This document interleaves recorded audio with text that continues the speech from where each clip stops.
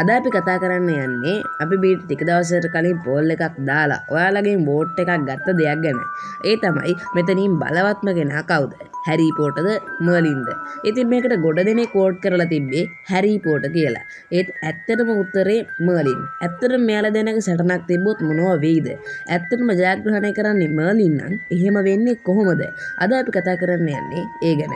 ඉතින් අප YouTube චනලකට අලුත් කෙනෙක් නම් දැන්ම පහලතින් රතු පාට සබස්ක්‍රයිබ් බට්න එක කලික් කරලා ඒත් ඒත් එක් මාටන බෙල්ලයි ගන්න එකත් ලික් කරලා අපිත් එක එකතු වෙන්න කියලා ආරාධනා කරනවා. එනම් අපි යමු වීඩියෝ එකට.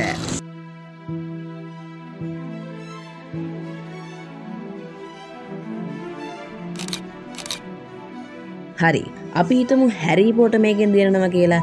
අනිවාරෙන් හැරිපෝට දිනන්න නම් හමයිනි රොන් ඒවගේම නෙවිල් මෙන්න මේ වගේයාගේ යාලුව ටික මේ යුද්ධයට ඕන කරනවා. අපි හැරිපෝට චිත්‍රපටි අටම විශ්ලේෂණය කර මේ චිත්‍රපටි අට තුළදිම ඕනෑම භයානක සටනක අවසාන හරිය විතරයි හැරේ තනියම කරන්නේ.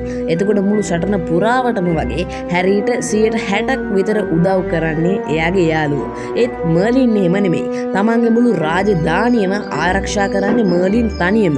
ඒවගේ මේ එයාගේ ස්වාමියට එයාගේ රජතුමාට කැපවෙන්නේ එයාගේ යාලුවත එක්කෙන එයා තනියමයි හැම දෙයක්ම කරන්නේ. එතකොට හැරී පෝට කියල කියන්නේ යාලුවන්ගේ උදව්වතුව වැඩ කරන කෙනෙක්. ඒවගේම මර්ලින් කියල කියන්නේ තනියම වැඩ කරන කෙනෙක්. එතකොට හැරිපෝට ඇත්තරුම් මේ සටනට අවුත් හැරිපෝට වසස් මර්ලින් කියන සටන ජයග්‍රහණය කරන්නේ මර්ලින්